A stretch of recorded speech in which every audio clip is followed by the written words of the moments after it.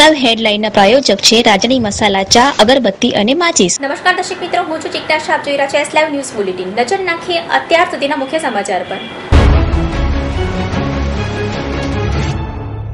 દિલ્હીથી એક રૂપિયો નીકળે છે અને ગરીબ સુધી સો પૈસા પહોંચે છે વડાપ્રધાન નરેન્દ્ર મોદી.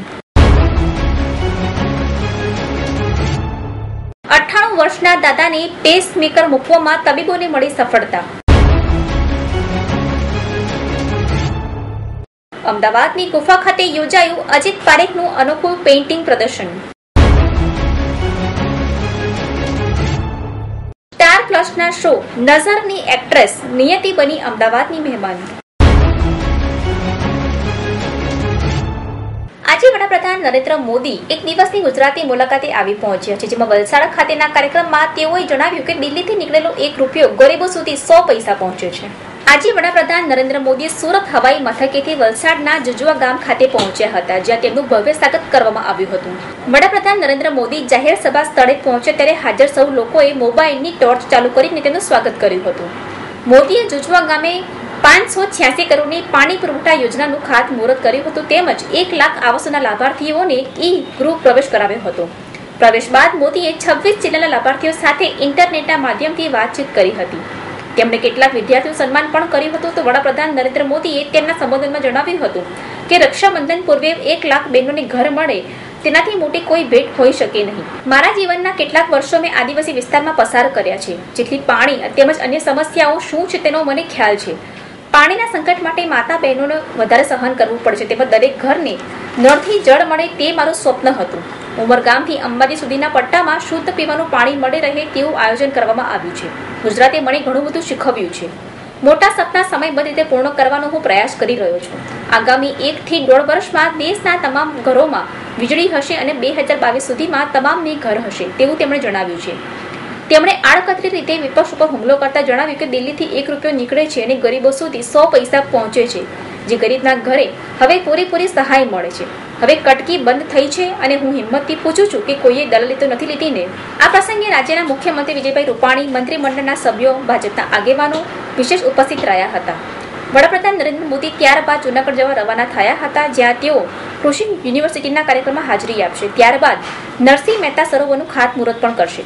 આ કાર્યક્રમ બાદ ગાંધીનગર ખાતે ફોરેન્સિક સાયન્સ લેબોરેટરીના કાર્યક્રમમાં હાજરી આપી દિલ્હી જવા રવાના થશે मुझे आज एक प्रकार से आधे पौने घंटे में पूरे गुजरात की सैर करने का मौका मिल गया हर जिले में गया वहां की माताओं बहनों से बात करने का मौका मिला मैं बात तो सुनता था लेकिन मेरी नजर उनके घर पर थी कैसा घर बना है आपने भी देखा होगा, कि आपको भी लगता होगा, कि क्या प्रधानमंत्री आवास योजना, सरकारी योजना के इतने अच्छे मकान भी हो सकते हैं क्या? ये इसलिए संभव होता है, क्योंकि कटकी कंपनी बंद है। दिल्ली से एक रुपया निकलता है तो गरीब के घर में पूरे पूरे सौ पैसे पहुँच जाते हैं, इसलिए ये संभव होता है।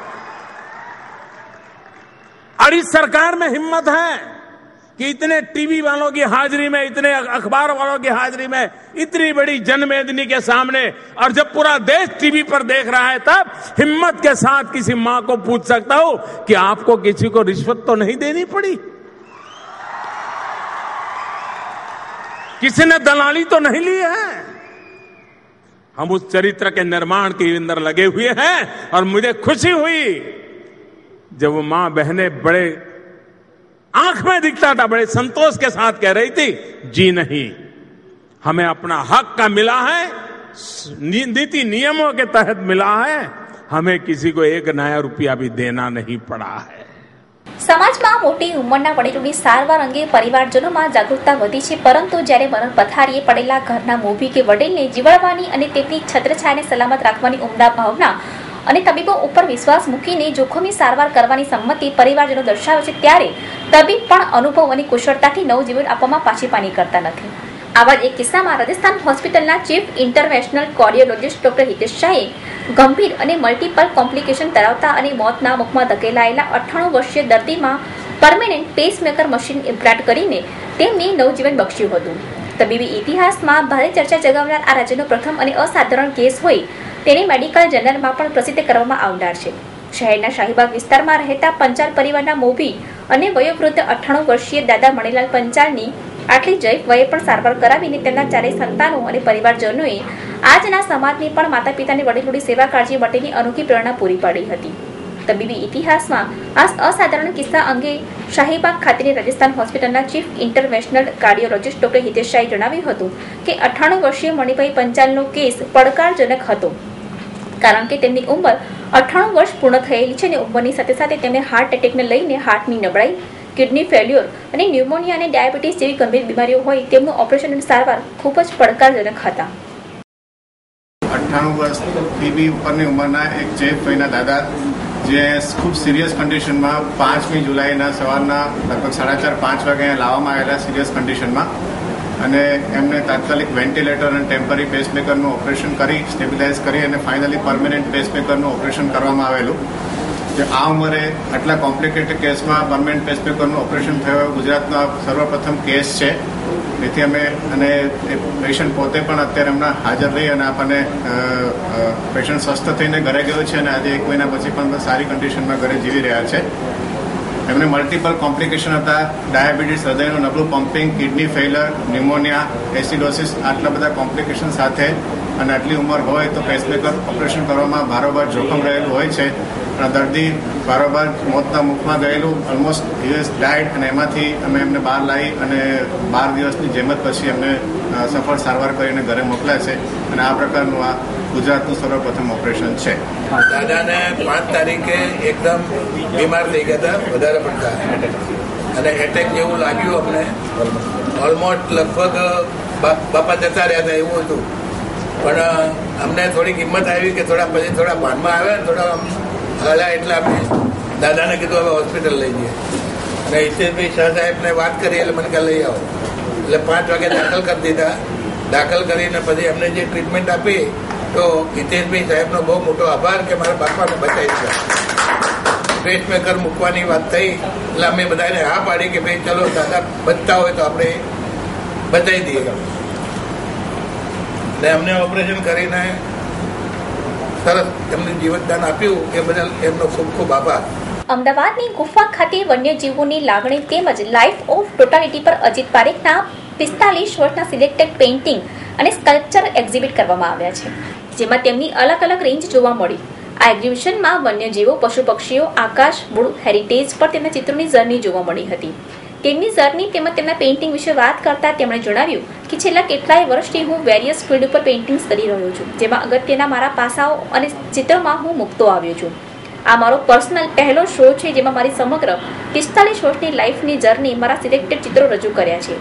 આ ઉપરાંત ડી વી દુશી સાહેબ દ્વારા સંસ્કાર કેન્દ્ર ખાતે પણ મારા હેરિટેજ પરના વિવિધ પેઇન્ટિંગ્સ મૂકવામાં આવ્યા છે. Born in a small town બહુ નાના ગામડામાં જન્મ્યો છું. રાજપીપળા કરીને છે. ત્યાંથી અહીંયા લગભગ સેવન્ટી ટુ સેવન્ટી થ્રીમાં ભણવા આવ્યો. ત્યાંથી અમદાવાદમાં છું. આર્કિટેક્ચરમાં ભણ્યો. અને આર્ટ નાનપણથી જ ગમતું હતું એટલે કર્યું છે. અને art as a hobby it has always remained એમાં ઓફકોર્સ આ અમારા મોટા સાહેબ દોશી સાહેબ છે અમારા પીરાજી સાગરા સાહેબ છે. એ લોકોનું અનહદનું ઇન્સ્પિરેશન અમારા લોકોની લાઈફમાં રહ્યું. આજે જે અહીંયા જે એક્ઝિબિશન અહીંયા યોજવામાં આવ્યું છે મુખ્ય કયા વિષય? એમસી એશર કે જેનાથી હું મેક્સિમમ ઇન્સ્પાયર થયો. પણ ઓફકોર્સ એમસી એશરનું બધું બ્લેક એન્ડ વ્હાઇટ છે કામ. મારું બધું કલરમાં છે. એમાં બેઝિક સરળ ડિફરન્સ આવા બધા છે માઇનો પણ એ સબ્જેક્ટની ઉપર યુરોપમાં બહુ ઇઝ વેરી ફેમસ આપણે અહીંયાની બહુ લોકોને ખબર નથી એમસીએ સર્વિસ કારણ કે એમણે જે કોન્ટ્રીબ્યુશન કર્યું છે ઇવન આજની તારીખમાં ન્યુયોર્ક એરપોર્ટ ઉપર ઇફ યુ ગો તો એમસી એશરનું ની ગેમ્સ ને એમસી એશરની બુક્સ ને એમસી એશરના કેટલોગ્સ ને સો મેની થિંગ્સ આજની તારીખમાં અવેલેબલ છે. એટલે એ ખાલી because we are eastern we don't realise કે ભાઈ વેસ્ટમાં કેટલું બધું ડેવલપમેન્ટ બીજા બધી વસ્તુઓનું થયેલું છે. એટલે I mainly working on those themes અને લગભગ અત્યાર સુધી મેં એમસીએસઆર સ્ટાઇલના લગભગ મહિને તો મેં સિત્તેર, એંસી જેટલા ટાઇપોલોજીસ બધી કરેલી છે. અહીંયા બધી મુકાય એવી છે નહીં. કારણ કે એ કરવા બેસીએ તો બીજા બે એક વર્ષ નીકળી જાય શું કામ છે ટોટલ એટલે જેટલું જેમ થતું જાય એમ એમ કરીએ છીએ. અહીંયા કેટલા ચિત્ર પ્રદર્શનમાં મૂકવામાં આવે છે? લગભગ સિક્સટી ફોરથી સિક્સટી સિક્સ જેટલા મૂકેલા છે. અને એમાં બધી રેન્જ છે. એકચ્યુઅલમાં તો ઓગણીસો એસીની સાલથી અમુક રેન્જ જાત જાતના બધા કરેલા છે. જેમ સ્ટેપવેલ ને થી ઇન્સ્પાયર થઈને કે પછી આ તંત્રના સબ્જેક્ટ ઉપર પણ એક જમાનામાં કામ કરતો હતો. એના છે એક વઝરેલી કરીને બહુ મોટા ગ્રાફિક ના વ્યક્તિ થઈ ગયા. એમના નામના તો મ્યુઝિયમ છે આખા મ્યુઝિયમનું નામ જ વોઝરેલી મ્યુઝિયમ છે. એનાથી ઇન્સ્પાયર થયેલો છું. આ જે ચિત્રો જે તમે તૈયાર કર્યા છે એમાં મુખ્યત્વે કેવા પ્રકારનું સામગ્રી વાપરી છે? એક ચિત્ર તૈયાર કરતા તમને કેટલો સમય લાગે છે? એવું નક્કી ના હોય. એવું નક્કી ના હોય. અમુક ચિત્ર એવું એ બને કે બે દિવસ ચાર દિવસમાં કરી નાખાય અમુક ચિત્ર એવો હોય કે ત્રણ મહિના સુધી કામ કરીએ તો એ એવું થાય કે હજુ બાકી છે. જેમ કે દાખલા કે બાપજીનું પેઇન્ટિંગ છે it took me almost more than six months કારણ કે એમાં એક દિલ સાથે કનેક્ટેડ વસ્તુઓ જુદી હતી. આ બધામાં દિલ સાથે કરવા બેસું તો તો દિલ વસ્તુ જુદી છે. એટલે એ બાપજીના પેઇન્ટિંગમાં છે. બાકી બધામાં ના આવે. There a big difference subtleties છે બધી. નવો શો, નઝરની લીડ એક્ટ્રેસ નિયતિ ફટનાની અમદાવાદની મહેમાન બની હતી. ત્યારે તેને પોતાના ઘરે જ રિટર્ન આવી હોય તેવો અહેસાસ થયો હતો. અમદાવાદની મુલાકાતે આવેલ નિયતિએ પોતે ગુજરાતીમાં જ પોતાના શો વિશેની સિરિયલ વિશે વાત કરી હતી. પોતાની સિરિયલ નજર વિશે વાત કરતા તેણે જણાવ્યું હતું કે આ તેનો ત્રીજો શો છે અને તેમાં તે પિયાનું પાત્ર નિભાવી રહી છે. જેમાં તે દૈવિક છે અને ડાયનની દુનિયામાં હ્યુમન છે અને આ શોમાં તેણે ઘણા સ્ટન્ટ પણ કર્યા છે.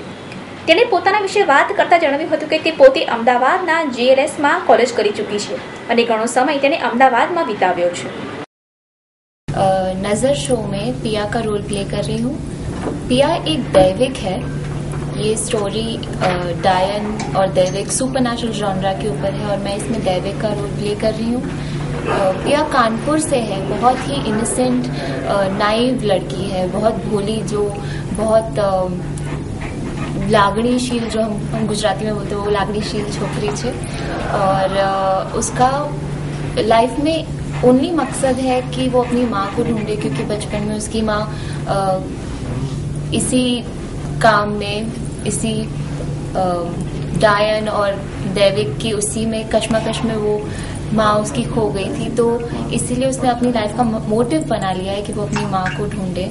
और इसीलिए वो कानपुर से बॉम्बे आई है। और जो उसकी जर्नी है लाइफ में, उसमें ही वो अपने दैविक पावर्स को फाइंड आउट करती है। और हमारा जो हीरो है, अंश, जो दावंश है उसको वो पॉजिटिव लाने में उसकी हेल्प करती है पॉजिटिव बनाने में उसकी हेल्प करती है। नहीं, ये तंत्र मंत्र पे नहीं है। ये मियरली एक एंटरटेनमेंट मीडियम है हमने बोला है कि ये सुपरस्टिशियस हम कोई भी उस, जो डिस्क्लेमर आते हैं, हम दो बार उसको प्रेजेंट करते हैं और बोलते हैं कि हम कोई भी अंधश्रद्धा हम नहीं फैलाना चाहते हैं। एक मियरली एक स्टोरी है और हर एक गाँव में, हर एक जगह पे, बड़े शहर में, छोटे शहर में हम लोग देखते हैं कि कहीं ना कहीं तो ऐसी बातें होती ही है कि किसी की नज़र लग गई है। आज भी अगर मुझे कभी बुखार आ जाता है तो मम्मी बोलती है, अरे, चलो, नींबू उतार के फेंक देते हैं या काला धागा बाँध देते हैं। तो ये हर जगह पे होता है। हम लोग मंदिर जाते हैं तो मौली पहनते हैं। तो इसमें कोई अंधश्रद्धा वाली बात नहीं है। जो है, वास्तविकता में जो है, हम वही प्रेजेंट कर रहे हैं। और किसी पर्टिकुलर फैमिली को टारगेट नहीं किया जा रहा है। हम बस एक काल्पनिक कथा हम लोगों ने बनाई है। और एक फैमिली की हमने एक स्टोरी बताई है। दैट्स इट તો આ હતા અત્યાર સુધીના મુખ્ય સમાચાર, સમાચારોની ખાસ ગતિવિધિ જોવા માટે આપ જોતા રહો એસ લાઈવ ન્યૂઝ બુલેટિન મને આપો રજા. નમસ્કાર.